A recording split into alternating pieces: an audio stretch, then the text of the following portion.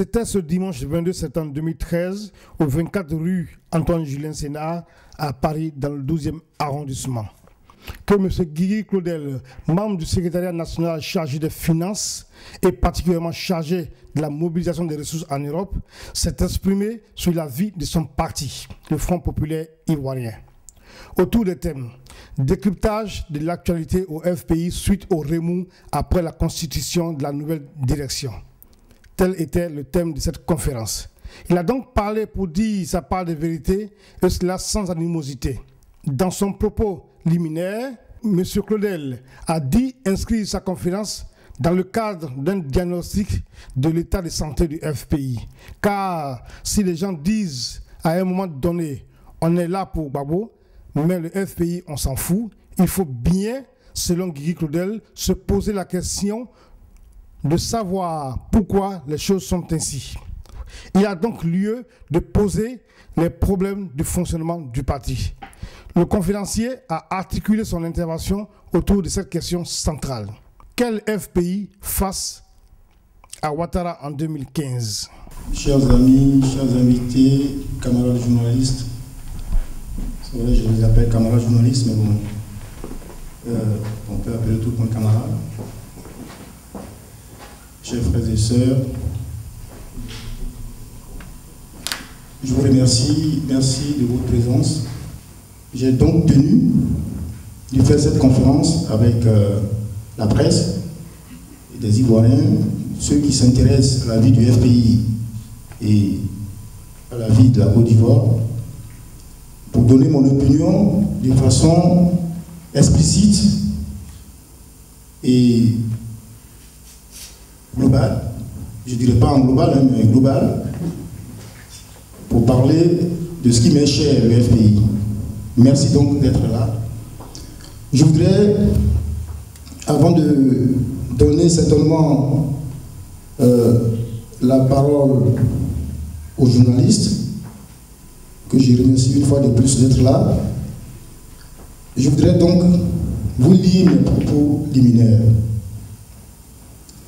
Mesdames, Messieurs, chers amis de la presse, chers camarades du parti, chers invités, comme vous le constatez, depuis le 5 août 2013, date de la libération de près de 14 prisonniers politiques, tous proches du président Laurent Gbagbo, les projecteurs des caméras du monde entier se sont à nouveau braqués sur notre parti, le Front populaire ivoirien sur ses activités, sur ses hommes et sur son avenir politique. C'est le lieu ici pour moi de saluer tous ces autres médias qui, dans l'ombre, ont décidé de se ranger du côté des démocrates en montrant aux yeux du monde, à travers des sites internet et autres réseaux sociaux, le combat et l'injustice subis par le FPI avec à sa tête son principal leader, je vais parler du président Laurent Gbagbo. Nous ne cesserons jamais de le répéter. Laurent Gbagbo est et demeure notre président sorti vainqueur des élections présidentielles ivoiriennes de novembre 2010. Chers amis de la presse, vous vous êtes certainement interrogé pourquoi une conférence de presse alors que le parti vient de subir une grande restauration avec plusieurs nominations. Mais aussi alors que le président Pascal Afin-Guessan entame depuis le 10 septembre une grande tournée politique dans le pays. Vous avez raison de vous poser cette question. Nous avons le devoir de vous en rassurer. Chers camarades, si nous avons sollicité ce jour de dimanche 22 septembre 2013, deux semaines après la cérémonie de passation des charges entre la direction intérimienne conduite par le professeur Sylvain Miakaoureto et Pascal Finguessan, c'est pour ensemble poser le bon diagnostic de la santé de notre parti, le FPI car vous êtes sans ignorer que le président Afi, fraîchement libéré des prisons, s'est lancé, comme nous le disions plus haut, dans la course pour la reconquête du pouvoir. Et si les choses se passent ainsi, il faudra compter avec une candidature du FPI aux élections présidentielles de 2015 face à Ouattara et d'autres formations politiques en Côte d'Ivoire. Alors, la question que nous nous posons est la suivante. Quel FPI face à Ouattara en 2015 Poser une telle question n'est pas un acte de défiance ni une ignorance des tests du parti. Tout parti politique ayant pour première vocation la conquête et la gestion du pouvoir d'État. Le FPI qui a déjà expérimenté cela peut et devrait de nouveau postuler à ce poste. Surtout que le parti a été empêché d'exécuter l'ensemble de son programme de société qu'il a porté au pouvoir en octobre 2000, faute des crises à répétition et qui ont fini par remporter son régime le 11 avril 2011. Mais en face, nous voudrions poser des réserves quant à la sincérité de nos dirigeants qui, à notre avis, ne semblent pas prendre la mesure dans ces futures échéances électorales.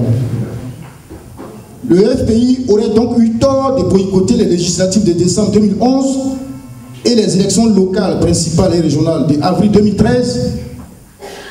L'histoire serait-elle en train de se répéter? Car nous avons encore en mémoire le boycott actif de 1995 après avoir joué le jeu du candidat du RDR, Alassane Draman Ouattara, exclu de la course au présidentiel par son allié idéologique de droite, Henri Konabédier, le FPI n'a pu satisfaire les nombreuses ententes de la population.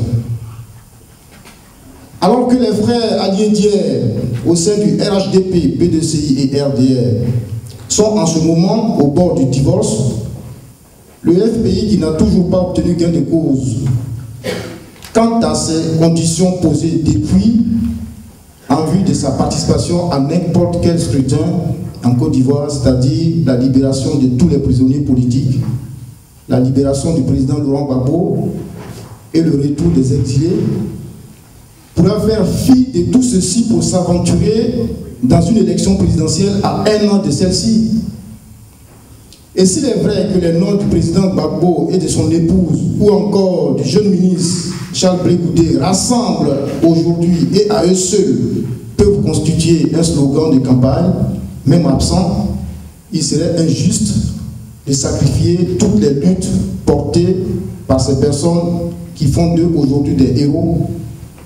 Nos héros ne doivent pas mourir si tôt, car la lutte ne fait que commencer.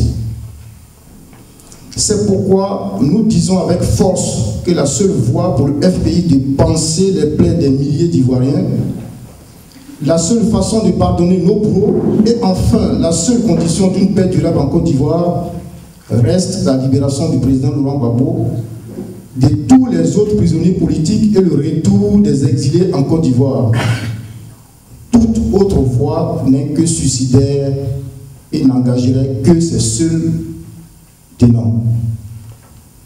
Le FPI, notre parti, vient de loin. Il faudra donc, il faudra donc continuer à s'armer de courage pour faire sauter le verrou, du le, reste du verrou. C'est pourquoi nous pensons que l'offensive diplomatique entamée par la direction intérimaire doit être poursuivie. 2015 n'est pas la fin du monde. Et le FPI sera apprécié le moment venu. Et ce moment ne sera pas sans le président Laurent Gbagbo.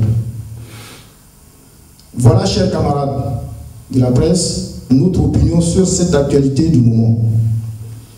Je sais que vous allez aborder bien d'autres questions. Sur, par exemple, les nominations faites par la direction intérimaire, dont je suis moi-même un sujet en tant que chargé de la, par la direction intérimaire de collecter des fonds pour le parti. On a également parlé dans ces derniers jours de la nomination de la camarade Brigitte Bio dans le secrétariat national du parti, alors que cette dernière, alors représentante du parti en France, a boycotté toutes les missions de la direction intérimaire, ce qui lui avait valu son poste au, poste au profit de la camarade Hortense Assalé. Oui, chers amis de la presse, le FPI est un grand parti et comme tel, il ne manque pas de mots qui minent tout grand parti politique. Je suis donc à votre disposition pour apporter mon opinion sur toutes ces questions sans langue de bois. La liberté d'expression et le débat démocratique font partie des fondements de notre parti. Je vous remercie. Après avoir lu sa déclaration préliminaire, M. Koulé Guigui s'est prêté aux questions de la presse. On l'écoute. Merci, cher, cher ami de notre, notre euh, l'intelligent. Oui, euh, tu as raison de poser une telle question, surtout la première, les remous. Est-ce que ce n'est pas nous qui les créons? Oui, en tant que militant du FPI, il est fort normal qu'on se pose des questions, surtout en ce qui concerne la mutation, c'est-à-dire que le fonctionnement qui se produit, sinon qui se produit sous nos yeux. Des militants comme moi, on s'interroge. On s'interroge parce que le président statutaire du parti sort de prison et l'actualité s'accélère. Et tu as posé la question des remous, d'où ça vient par rapport aux nominations. Je vais te dire ceci, je, vais vous, je vais vous tutoyer parce que vous voyez, parce que euh, on est euh, en train de parler de façon solennelle. Le FPI, je l'ai dit dans mes propos liminaires, sort, en tout cas, revient de loin. Je le dis parce que je fais quand même partie d'un des acteurs euh, de ce parti. Je sais que deux ans, pendant l'absence euh, du président statutaire du parti, le pays a traversé d'énormes difficultés. D'énormes difficultés pour se redresser. Donc, quand nos camarades sortent de prison, pour moi, je pense la première des choses, c'est de savoir comment va la maison. Et que pour moi, la priorité n'était pas cette euh, restructuration que je qualifie d'active. Une euh, restructuration qui, à mon sens, ne devait pas intervenir maintenant. Pour moi, le président du parti aurait dû prendre le temps de savoir comment va son parti. Voilà. Ça, c'est euh, pourquoi, quand euh, apparemment certaines personnes militantes du FPI s'interrogent sur la précipitation de restructurer le secrétaire général. Donc, les remous, vous avez raison de, dire que c'est nous qui les créons, mais c'est parce que, en tant que militant, quand on n'est pas content, on s'exprime. Et c'est ce qui a été, euh, à mon sens, fait. Et puis, euh, les nominations, vous êtes quand même journaliste. Vous savez, il y en a une particulièrement qui retient l'attention de tout le monde. Ce n'est pas Didier Claudel seul qui s'interroge. C'est la nomination au poste de secrétaire national chargé des représentations à l'extérieur et de la diaspora. Euh, c'est une question euh, qui pose problème. Ça fait une nomination qui pose problème, d'autant plus que euh, elle concerne une personne particulièrement qui s'est mise en rébellion contre la direction intérimaire. Ça, c'est une réalité qu'on sait ici. Alors, c'est ça qui fâche les militants. C'est vraiment ça qui fâche. Moi, en tant que militant, c'est ça qui me fâche. J'estime que le président Afin n'a pas pris la mesure des choses avant de procéder euh, à ces différentes nominations. C'est la raison qui. Euh, j'ai évoqué la raison de discipline Voyez-vous, euh, je tiens ici des propos tenus par celle qui aujourd'hui est responsable du, secrétariat national chargé des représentations, cette personne-là, c'est vous qui l'avez publié, vous les journalistes, un communiqué officiel. Un communiqué officiel dans lequel on traitait la création intérimaire des pushistes ça ne vient pas de Kiki Claudel. Alors, quand, au cours de la passation des charges, le président Afi félicite l'équipe intérimaire, cette équipe intérimaire qui a été traitée de pushistes, pushistes au FPI, c'est la première fois j'entends qu'un autre camarade est pushiste. Euh, on a jusque-là connu les pushistes, les militaires qui font des coups d'État au sein du FPI. Euh, on traite les autres des pushistes. Moi, personnellement, ça m'a choqué, ça a choqué tout le monde, toute la direction du parti. Alors, le président il fait fi de ça. On ne fait même pas intervenir le minimum, c'est-à-dire que les, les mesures disciplinaires, les mesures disciplinaires, elles ne sont même pas évoquées. Et cette personne est promue. Moi, ça me pose un cas de conscience. Parce que notre parti repose sur des tests et des principes. C'est le respect de la hiérarchie. Alors quand un militant de base, pour ceux, je peux éclairer un peu en deux secondes, ceux qui ne savent pas, ceux qui ne le sauraient pas, la représentation est un organe de base, qui n'est même pas un organe de décision, organe de base. Alors quand un responsable d'organe de base, qui est en quatrième position, quand on cite les organes de base, nous avons la fédération, nous avons la section, nous avons le comité de base, et la représentation vient en quatrième. quatrième. Et qu'un responsable d'organe de base puisse traiter son président de parti de pushistes, d'irresponsable, d'incompétent, ce sont ces mots. C'est un article publié le 26 avril 2012. Ça ne vient pas de Kiki Claudel. Euh, dans l'Ivoire Business. Voilà. Euh, je pense qu'à son temps, vous l'avez réglé vous-même euh, à l'intelligence aussi. Euh, donc, ça ne vient pas d'équipement. Ah, voilà, voilà la question qu'on se pose en tant que militant de ce parti. Pourquoi on foule au pied la discipline? L'interrogation est là. En ce qui concerne la deuxième question que vous avez posée, enfin, vous avez posé une interrogation sur la politique de la chaise vide. Justement, c'est pour éviter la politique de la chaise vide. Nous l'avions fait, je l'ai dit dans mes propos liminaires. En 1995, on a fait un boycott actif. On voulait aller nulle part. Ça nous a coûté ce que ça nous a coûté. Actuellement, nous posons les conditions normales pour aller à des élections normales. C'est justement pour éviter la politique de la chaise vide qu'on interpelle, en tout cas que moi j'interpelle nos responsables, pour dire, attention, nous allons au rythme où on va, on risque de faire le, jeu de Ouattara.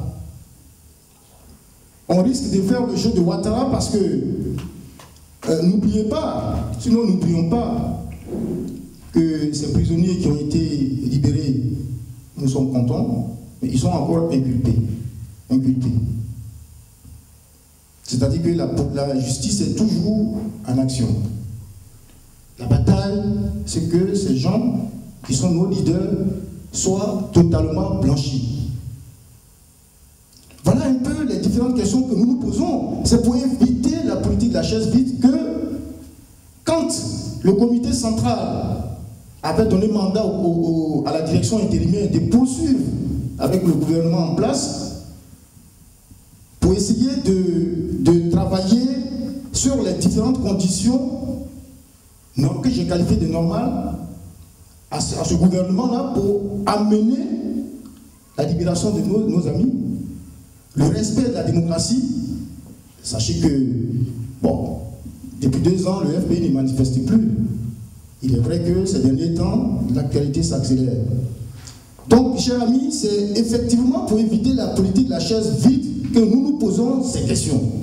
Sommes-nous prêts à aller à des élections alors que les conditions, on pense, ne sont pas encore euh, euh, réelles, elles ne sont pas remplies Vous avez fait allusion euh, au président Gbagbo. Euh, dans la troisième question en même temps, euh, si Afi est candidat, ça fait quoi? Ah, Non, non. sur la deuxième, la deuxième question, c'est que on, fait, on, dit si, si, le président Gbagbo n'est pas là, on ne fait rien. C'est pas ce que je dis. Moi, je dis que le FPI doit se restituer normalement, une vie de parti politique normale. Le président Gbagbo, c'est le président de Côte d'Ivoire. Je l'ai dit dans mes propos liminaires, c'est le monsieur qui est sorti vainqueur des urnes. Mais en même temps qu'on pose les conditions de la libération de Laurent Gbagbo, en même temps, je m'interroge sur le fonctionnement de mon parti. Alors, poser la question du fonctionnement normal du FPI ne veut pas dire que si Gbagbo n'est pas libéré, on ne, va pas aux élections. Pourquoi parler d'élections maintenant? Pourquoi? Nous ne parlons pas d'élections. Nous étions, si vous l'avez oublié, nous étions au pouvoir. Enfin, une partie, on, on, gérait une partie du pouvoir avec le président Gbagbo. Mais il y a des pans entiers du pays dans lesquels on ne pouvait pas aller. Aujourd'hui, euh, vous voyez bien avec l'actualité, il y a certaines personnes qui peuvent aller dans d'autres régions librement, mais au nom, aucun partisan du président Bako ne peut y aller. Donc pour nous, poser même la question de l'élection, elle est prématurée. Je dis, mon parti n'a pas fonctionné depuis 2001. Il faut revenir à un fonctionnement normal du parti avant de pouvoir réellement orienter nos actions vers une future élection. Voilà, voilà, euh, cher, ami, en tout cas, pour ce qui me concerne, voilà un peu mon opinion là-dessus. Donc, nous, ne disons pas que si Babo n'est pas. Babo est notre leader, c'est vrai, c'est un monsieur, c'est le président qui respecte tellement la Constitution que dès qu'il a été élu en 2000, il s'est coupé du FPI. Ça aussi, c'est une réalité. C'est le président de tous les Ivoiriens. Il n'a plus aucune affaire au FPI. Donc nous parlons là du FPI. Euh, pour ce qui concerne la troisième question, AFI, ici, les candidats, eh, je pense que euh, pour moi, la candidature d'AFI ne se pose pas maintenant. On peut plutôt poser la candidature d'AFI au sein du FPI. Au sein du FPI, c'est-à-dire qu'il est président du FPI. Je sais faire la part des choses. Le président a été élu en avril 2001. Je voudrais rappeler ici que euh, nos tests, quand on est élu, c'est pour trois ans. Nous sommes en 2013. 2013. Euh, donc je pense qu'il faut certainement faire une pause pour faire un inventaire clair en ce qui concerne le fonctionnement du FPI avant de pouvoir chercher à postuler au poste de président du FPI ou de président de la République. Pour moi, c'est prématuré. Un inventaire, ça vient concret, c'est ça? Euh, S'il vous plaît. Voilà euh, ce que je pouvais dire sur euh, la question concernant le président Afi. Le président Afi, je pense que euh, c'est vous qui posez la question, mais bon, pour moi, ce n'est pas, pas d'actualité. L'actualité, c'est la vie du FPI.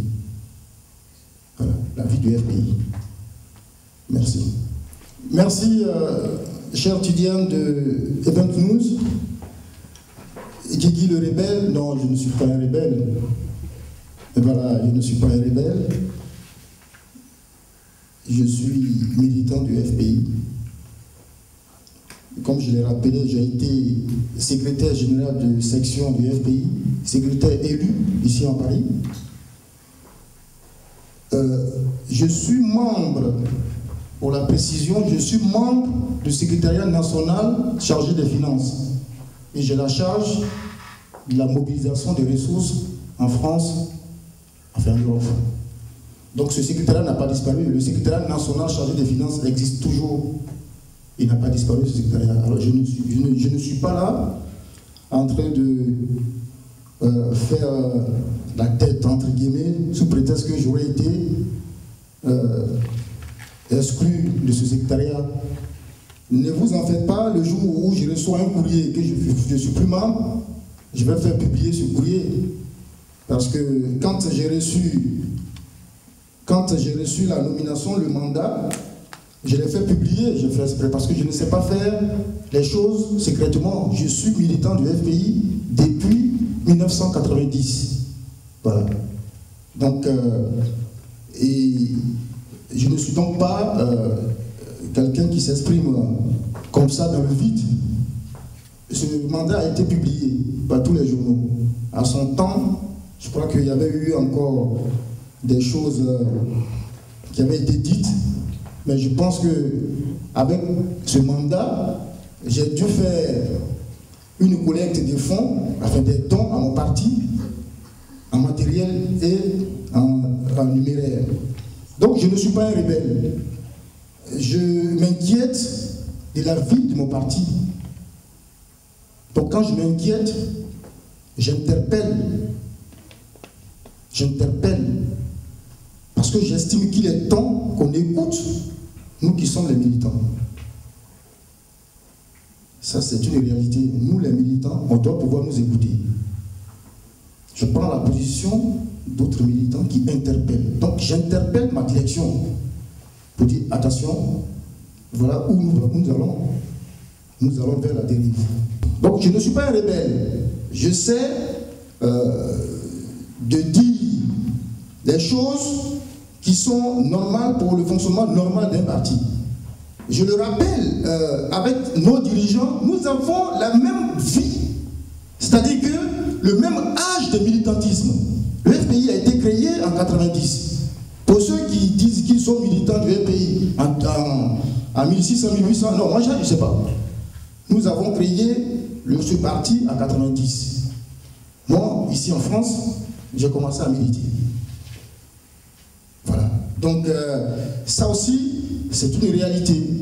C'est euh, une longévité aussi. Donc j'estime avoir le droit de m'exprimer parce qu'il y a certains devoirs que je remplis des fois de temps en temps. Donc comme le parti me donne ce droit-là d'expression, j'interpelle, j'ai saisi l'occasion pour interpeller. Pour dire, quand je ne suis pas d'accord, je ne suis pas d'accord. Mais bon, quand euh, à un moment donné, on t'accuse de faire de l'ombre à celle qui a été nommée, je crois qu'on ne peut plus être d'accord sur la manière de fonctionner. J'ai dû euh, me retirer. Sinon, c'est la représentante, représentante du FPI, je suis militant du FPI. Et membre du secteur national chargé des finances, je m'occupe de mon secteur. Pensez-vous que votre position à l'adhésion de certains militants du parti ainsi que de certains dirigeants du parti actuel et qui comptez-vous faire pour que ce congrès ait lieu Entreprenez-vous de mener des actions auprès des militants pour forcer la tenue de congrès afin de renouveler les instances dirigeantes de votre parti? Seconde question, tous savons que les caisses du parti étaient vides après le 11 avril 2011. Vous-même avez, avez eu à organiser ici à Paris une journée d'élevée de fonds. Et depuis la sortie de prison du président Finguessan, on constate qu'il entreprend des tournées qui en même temps révèlent que l'homme dispose de grands moyens. Alors, je, voudrais savoir, ces moyens existaient-ils avant sa sortie de prison? Si oui, pourquoi Miyaka n'en a-t-il pas fait usage? Sinon, d'où sortent ces grands moyens? Quand on sait, entre autres, que les comptes des dirigeants avaient été gelés et que les caisses du parti sont vides. Troisième question. Dans cette tournée, AFI récemment a eu à dire ceci. Euh, vous avez souhaité que nous soyons présidents, nous le serons, qu'on le veuille ou pas. Et il a poursuivi pour dire que toute cette mobilisation qui s'est faite lors de cette tournée, c'est pour montrer qu'il y a du monde derrière moi, derrière lui. Alors, on sent à travers ces propos que Afinguessan euh, exprime une ambition personnelle de conquête du pouvoir, pendant que Laurent Gbagbo est encore en prison. Ne pensez-vous pas que Afi est en train de se fourvoyer? Est-ce que sa position, s'il y va jusqu'au bout, ne risque pas de fragiliser le parti en créant son sein une scission? Et quatrième question pour finir. Dans la perspective euh, de la présidentielle 2015, au cas où le FPI arrive à présenter un candidat, pensez-vous que le FPI aujourd'hui est un parti suffisamment fort pour gagner sur les élections? Quand on voit qu'aujourd'hui le FPI semble ne plus compter sur le groupe formé par Gbagbo qui se dénommait LMP, en mettant à l'écart euh, les autres partis qui, étaient membres de ce groupement politique. Alors pensez-vous que le FPI en 2015 peut se faire l'affaire pour, conquérir le pouvoir? Merci. Euh, il a été élu en 2001, nous sommes en 2013.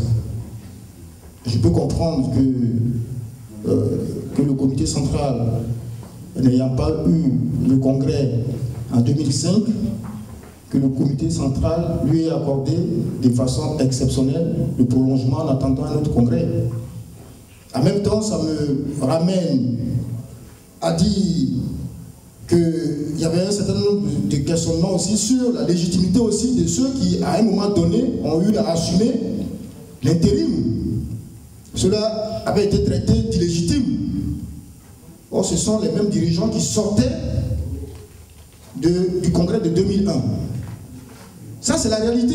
C'est-à-dire que quand vous, êtes en place, vous vous considérez légitime, alors que vous êtes régi par les mêmes tests, et que quand c'est les autres, vous pensez qu'ils sont illégitimes, entre guillemets. C'est d'ailleurs pour ça que je, je, parle du fonctionnement de mon parti, du fonctionnement du FPI. Parce que hier, c'est parce que nous avons respecté les tests a assuré l'intérim à un moment donné. Mais il était traité d'illégitime. Alors moi, je rappelle simplement que bon, euh, les autres qui sont là aussi ont été élus depuis 2001 et en 2004, on a fini. Il faut d'autres personnes, ou bien les mêmes personnes, soient réélues. Parce que je rappelle que euh, quand on est secrétaire de section, on est élu pour deux ans. Quand ça finit, tu dois te représenter. Donc c'est dans toutes les instances. Alors, je ne dirais pas qu'il est illégitime, d'autant plus que c'est le comité central qui lui a permis d'être là le comité central, mais de façon exceptionnelle. Nous sommes toujours dans une situation exceptionnelle. Il faut qu'on le sache. Je ne dis pas autre chose, je ne, je mens pas à personne. Nous sommes, en tout cas en ce qui concerne le FPI, dans une situation exceptionnelle. J'ai dû voir comment, sinon combien ce parti manquait du minimum. Minimum, le matériel. Alors, je me suis posé la question, les caisses du FPI avait-il été gêné Parce que je sais que pour ce qui concerne nos responsables, mes dirigeants, beaucoup ont eu leur, leur, leur compte bancaire gelé. Mais en ce qui concerne le FPI, je posais la question, mais euh, pourquoi n'avons-nous pas un rond dans les caisses du parti? Je voudrais simplement rappeler la loi de 2004, la, question, la loi relative au fonctionnement, enfin au, financement des partis politiques. 2004. Cette loi permet, en tout cas, elle a permis au FPI de bénéficier de 2006 à 2010 des financements annuels plutôt de 800 millions de francs CFA. Alors quand on fait les calculs pour les matheux qui sont là, ça fait 3, 3 milliards 200 millions. Logiquement, on doit avoir la caisse de 2006 à 2010. Mais le militant lambda ne sait pas à quoi, pourquoi n'y a-t-il pas d'argent? On peut me répondre pour dire, mais Ouattara, mais tu, es fou, toi, Ouattara tout géré. Voyez? Et comme je sais que, appartenant au secrétaire national chargé des finances, je vois que l'enveloppe est vide, parce que moi-même, je vendais aussi des cartes ici. Hein. Ma petite voiture qui est dehors, c'est elle qui servait de transport à nos dirigeants. Je sais que certains, pour qu'ils viennent ici, on a, dû euh, se cotiser pour qu'ils viennent. Pour un parti qui a eu un financement de 800 millions annuels. Alors, on se pose la question, moi je me pose la question. Vous voyez euh, Tout ça, ça doit pouvoir trouver réponse. Il faut qu'on nous réponde, nous les militants, que voilà à quoi a servi le financement du FPI. Enfin, le, euh, le financement du parti. Voilà. Parce que moi, je sais, j'ai fait partie de ceux qui... Je suis allé en campagne en 2010. J'étais en campagne euh, à Abidjan. Euh, D'ailleurs, je rappelle, je fais partie de ceux, euh, des jeunes qui avons cotisé 10 millions de francs CFA pour les mettre au président Babou. On a cotisé 10 millions de francs CFA. On était un groupe de jeunes qu'on appelle le RICAP, Réseau des jeunes 4 pour la victoire de Babo. Nous avions cotisé 10 millions qu'on a remis en main propre à la quota au président Babo.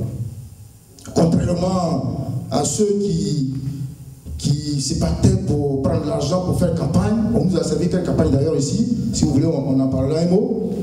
Euh, moi j'ai assisté à des, spectacles et non des campagnes. Voyez? Donc, à quoi a servi cet argent?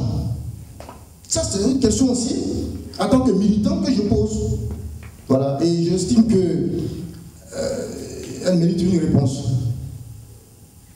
Effectivement, vous avez raison de souligner les caisses sont vides. Maintenant, vous soulignez le fait que le président a il, a des moyens, je ne sais pas. Moi, je suis, je suis, je suis l'actualité comme vous. Je sais que mon président, il fait des tournées.